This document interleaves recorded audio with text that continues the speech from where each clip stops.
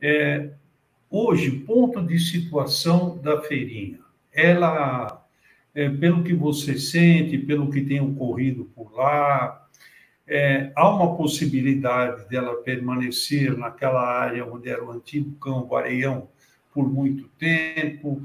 É, o clube entende que essa feirinha vai ser desativada. Como é que está isso para o torcedor entender, Castanheira?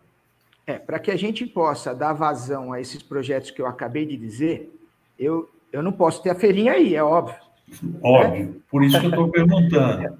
e aí eu encontrei um grande problema, né? É, a gente já estava com ela instalada, não estavam pagando aluguel, eu tive que entrar com ação de despejo e aluguel agora está sendo pago, tá? Pela primeira vez a feirinha está pagando aluguel. Lá no juízo, né? Na ação do despejo. Aí eles também estão encontrando a mesma dificuldade que a gente é, não pode é, fazer a feirinha por causa da pandemia. Você ali você vai reunir um conglomerado de pessoas, né? E você está fazendo é, uma situação contrapondo a, a, a, vigilância sanitária, né? Então também Sim. tem esse detalhe. É, eu agora estou esperando e aguardando eles resolverem a parte técnica, que é a parte que mais me preocupa. Eu nunca quis prejudicar ninguém, né? Eu sei dos problemas que, a, que as pessoas acabaram entrando, mas entraram e agora tem que solucionar. É, tem que ter alvará técnico, tem que ter liberação técnica para funcionar. Esse terreno é um terreno que, pela lei, é para uso social e desportivo. Ele não é um terreno para uso de venda de mercadoria, é proibido. Esse é um grande problema, é o que mais me tira o sono. E sem é o isso. Fim, é o fim comercial que está sendo usado, né? Exato, e isso fere a lei e a gente pode correr o risco de perder o terreno.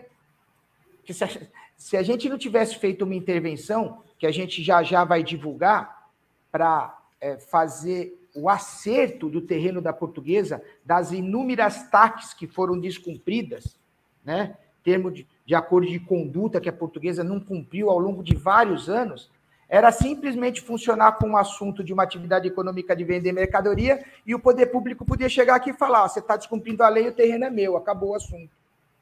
Eu não quero ser o presidente que vai deixar passar na minha frente esse assunto e eu não fazer nada, né? Senão vai sobrar para mim que eu fui o presidente que deixei perder o terreno da prefeitura.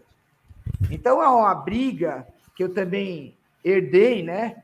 No meio de tudo isso que a gente está falando, é passivo de 450 milhões, é, é desgovernança, é, desorganização, e você tem que ir matando um leão por dia, né? E esse leão da feirinha, eu vou ter que resolver isso até o meio do ano.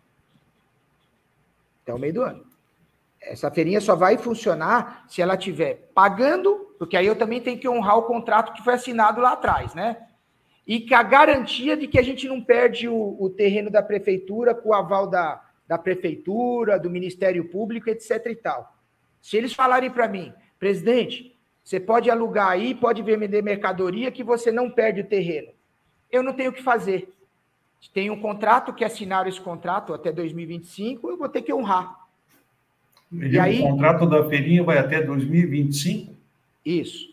E aí, esse terreno que está aí, que serviria para eu fazer a fase 2 do projeto de modernização, eu já vou parar a fase 2. Né?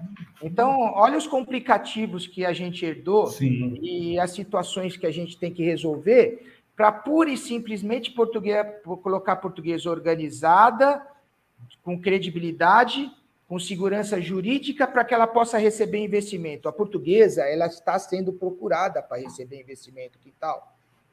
Ela está sendo procurada nas duas esferas, neste maravilhoso local que a gente se encontra e deixando claro para todo mundo que ninguém aqui quer vender a portuguesa, porque ficam jogando no ar em verdades e mentira. Ninguém está aqui vendendo a portuguesa. A gente está aqui achando um fundo ou um investidor que venha modernizar e que a gente vai ganhar dinheiro junto, mas que a operação e o terreno e o patrimônio é da portuguesa.